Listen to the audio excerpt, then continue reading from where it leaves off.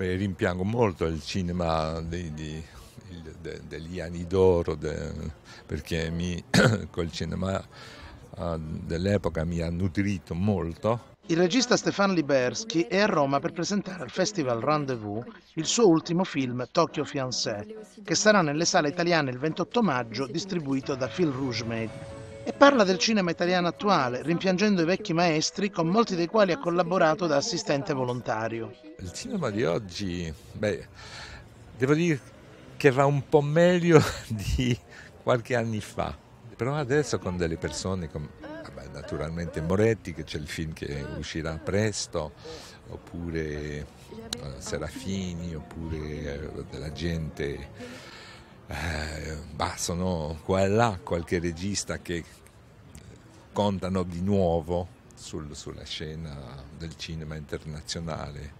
In Francia invece la situazione è diversa grazie al sostegno pubblico che il governo assicura all'industria culturale. Una decisione politica anche no? di, di, di, eh, di sostenere la cultura in generale, non solo il cinema hanno quell'idea, i francesi sono più arroganti anche, dunque,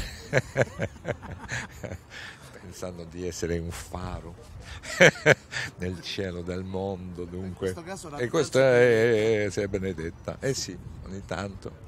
Tokyo Fiancé, tratto dal romanzo autobiografico di Amelino Tomb, né di Eva né di Adamo. Perché ho letto il libro, mi è piaciuto molto e di più avevo la voglia da lungo di fare un film in Giappone, volevo un film, una storia semplice di amore appunto, di amore, un amore particolare che non è mai trattato, non così tanto trattato quel tipo di, di incontro.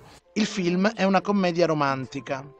A me mi è naturale perché uh, è una cosa che non so, mi sembra una cortesia di, di, di, raccontare le cose con ironia, non lo so, però leggerezza pure, come dicevo, non sono io che l'ho inventata, però c'è una scrittrice francese che diceva che il mondo è già così pesante che quando uno aggiunge qualcosa al mondo, almeno che, che, che sia leggera.